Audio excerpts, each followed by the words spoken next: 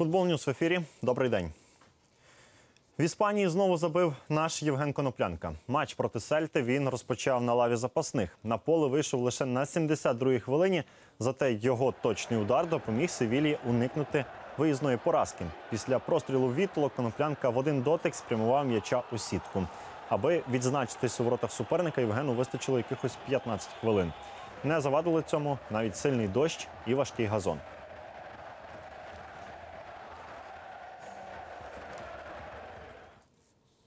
До речі, Коноплянка перший українець, який матиме можливість зіграти у фіналі Кубка Іспанії. Таким історичним досягненням Хавбек вирішив поділитися у соцмережі зі своїми підписниками. Запостив світлину у компанії з Рейсом та своїм вчорашнім асистентом Вітоло і, і прокоментував так: історична мить. Ми у фіналі Кубка Короля. А без коноплянки Севіля упродовж всього матчу поступалася. Гра для андалусійців не склалася з перших хвилин. Очевидно, рахунок першої зустрічі дещо розслабив гостей. Спершу простріл Орельяни з флангу замкнув Аспас. Смаженим запахло, коли одразу по перерві Яго скористався невдалими діями Серхіо Ріко і збільшив перевагу своєї команди.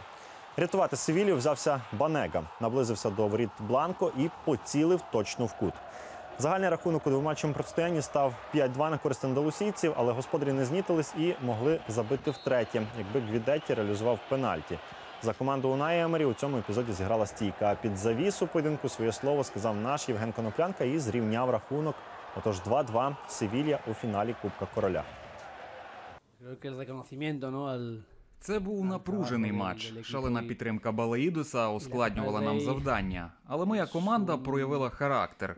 Довела, що Копа Дель Рей є для нас першочерговою метою. Я задоволений футболістами. Було непросто, але ми звели поєдинок до нічиєї.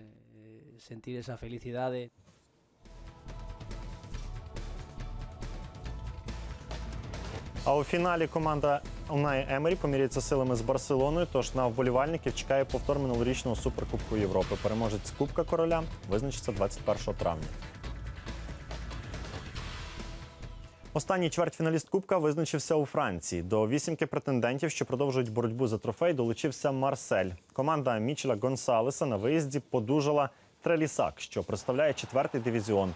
Гості повели у рахунку на 33-й хвилині. Алесандре обігрався з партнером та з лінії штрафного майданчика вразив правий від голкіпера верхній кут. А наприкінці матчу остаточний рахунок встановив Флетчер. Шотландець відгукнувся на фланговий простріл. 2-0 перемога Марселя.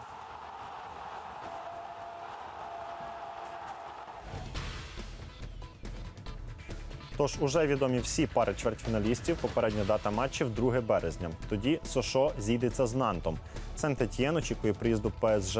Марселю тепер доведеться вдома зіграти ще з одним аматорським клубом Гранвілем. І остання пара Лор'ян Газелек. А Вінгера Парі Сен-Жермен Есекіеля Лавессі манять далекі обрії і захмарна зарплатня. Невдовзі він може перебратися до Китаю, адже там зароблятиме більше ніж у Парижі. Як повідомляє видання Лекіп, аргентинець домовився, що у Hebei China Fortune йому платитимуть 15 мільйонів євро на рік. У ПСЖ Лавесі отримував майже у 4 рази менше. В Італії 25-й тур серії А стартував у Римі. Столичний Лаціо приймав Верону і потішив своїх вболівальників не лише перемогою, а й великою кількістю голів.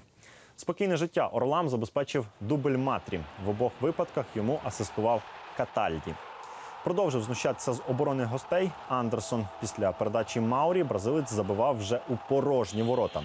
Втім, Верона проявила характер і доволі швидко відіграла два м'ячі.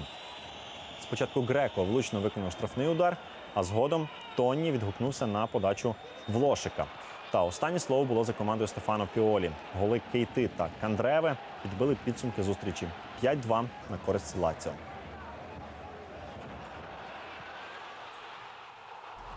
Сьогодні тур продовжиться. Карпі зустрінеться з Ромою. Наставник римлян Лучано Спалетті цей матч прогнозує доволі складним. Тож налаштовує підопічних на максимальну концентрацію у грі з аутсайдером серії А. Центральне протистояння туру в Італії відбудеться в суботу. Ювентус прийматиме Наполі. В разі перемоги туринці можуть вперше очолити турнірну таблицю у нинішньому році.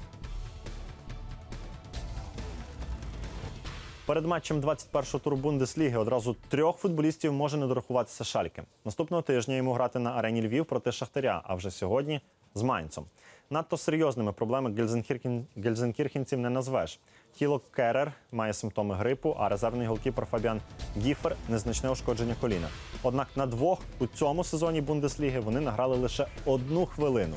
Найвагоміша з можливих втрат Ерік Чупомотінг. Він не пропустив жодного туру, але дискомфорт у стегні може змусити залишитись на лаві запасних у Майнці. Щоправда, навряд чи все настільки серйозно, аби його вояжу до Львова.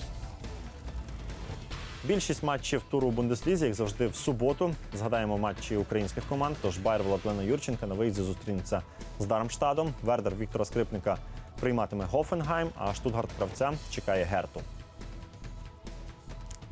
Тим часом аутсайдер англійської прем'єр-ліги Сандерленд не боїться різати по-живому. Чорні коти розірвали контракт з Адамом Джонсоном. Причина його інтимні стосунки з неповнолітньою. Футболіст визнав свою провину і наслідки не забарились. Співпрацю з ним припинила ще й компанія Adidas. У складі Сандерленда Джонсон провів 109 поєдинків і забив 18 м'ячів. Пішов з клубу, проте за власним бажанням колишня зірка Реалу та Мілана Робінью. І з власного досвіду він знає, як важко грати у Піднебесній. Тож через рік виступів за Гуанчжоу, повернувся на батьківщину. І відтепер захищатиме кольори Атлетіко Мінейро. Туди Робінью перейшов у статусі вільного агента та уклав контракт на два роки.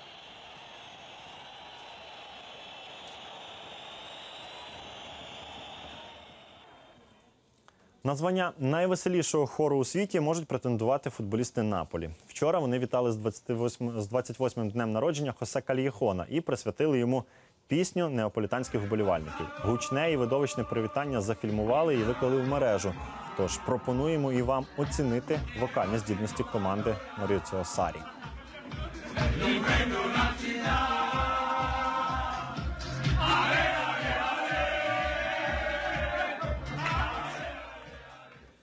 Наші хлопці за столом і не на таке здатні. На цьому все. Дивіться футбол.